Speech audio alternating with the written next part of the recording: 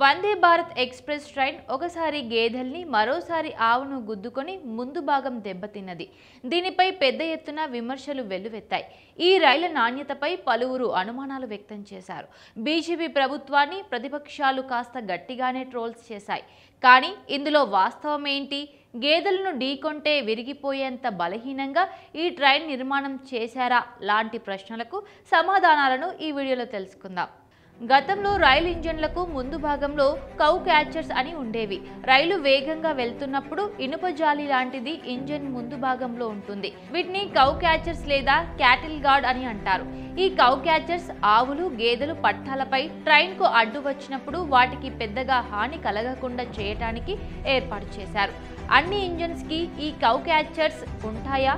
అంటే దాదాపుగా అన్ని ఇంజిన్స్కి ముందు భాగంలో కౌ క్యాచర్స్ ఉంటాయి. కానీ ఎక్కువగా ఏ మార్గంలో తరచూ జంతువులు ట్రైన్లకు అడ్డంగా వచ్చి ప్రాణాలు కోల్పోతున్నాయో ఆ మార్గాలలోనే కౌ క్యాచర్స్ ఉన్న ఇంజన్లని ఉపయోగిస్తుంది భారతీయ రైల్వే. అయితే దీని వల్ల జంతువులు గాయపడతాయా లేక మరణిస్తాయా అన్నది రైలు వేగాన్ని బట్టి అలాగే లోకో పైలట్ ఎమర్జెన్సీ బ్రేకులు వేసిన విధానం మీద ఆధారపడి ఉంటుంది. పశువులు ట్రైన్కు అడ్డం రావటం వల్ల వాటికే కాదు కొన్ని కొన్ని సందర్భాల్లో ట్రైన్ బోగీలు పట్టాలు తప్పే అవకాశాలు కూడా లేకపోలేవు. అందుకే అప్పట్లో ఈ కౌ క్యాచర్లను ఏర్పాటు చేశారు. ఇక వందే భారత్ రైలు విషయానికి వస్తే వందే భారత్ రైలు ప్రయాణికుల్ని తీసుకెళ్ళే ప్యాసింజర్ ట్రైన్. ఆవులు గేదెలు అడ్డు వచ్చిన సమయంలో ఆ ట్రైన్ ఎంత వేగంతో ఉందో తెలియదు కానీ లోకో పైలట్ మాత్రం బ్రేకులు వేసి వేగాన్ని నియంత్రించే ప్రయత్నం చేశారు. టీవీ ఛానళ్ళలో సోషల్ మీడియాలలో కొంతమంది ఈ విషయంపై ఏమాత్రం అవగాహన లేని వారి వాదనలు ఏమిటంటే ఇంజన్ ముందు భాగం అలా అయిపోయింది ఏంటి? అది ట్రైన్ ఇంజనా లేక స్కూటీనా? ఇదో పెద్ద డొక్కు ఇంజన్ అంటూ జోకులు వేస్తున్నారు. కానీ వారికి తెలియంది ఏమిటంటే జంతువులకి తగలగానే వేటికవే విడిపోయే విధంగా ఒక ప్రత్యేకమైన మెటీరియల్తో ఈ ట్రైన్ ముందు భాగాన్ని తయారు చేసి అమర్చారు. వందే భారత్ కోచ్ల రూపకల్పన విషయంలో చాలా విషయాలను దృష్టిలో ఉంచుకొని డిజైన్ చేశారు.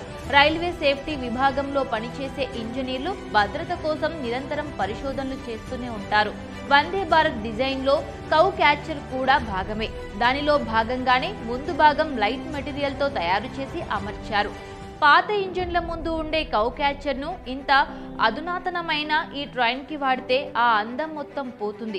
కావున దానికి బదులుగా లైట్ మెటీరియల్ని ఉపయోగించారు. జరిగిన యాక్సిడెంట్ వల్ల దెబ్బతిన్న ట్రైన్ ముందు భాగంపైనే వ్యాఖ్యలు చేస్తున్నారు. కానీ అక్కడ ఒక్క రక్తపు మరక కూడా కనిపించట్లేదు. అది కూడా గమనించవలసిన విషయం. పశువుల శ్రేయస్సు కోసం అలాగే ట్రైన్లోని ప్రయాణికుల నిమిత్తం వినూత్న పద్ధతిలో లైట్ మెటీరియల్ను వినియోగించినందుకు గాను ఇండియన్ రైల్వే ప్రశంసలు పొందాల్సింది పోయి విమర్శలు వస్తున్నాయి. ఈ వీడియో కనుక మీకు నచ్చినట్లయితే లైక్ చేయండి షేర్ చేయండి మా ఛానల్ని సబ్స్క్రైబ్ చేయండి.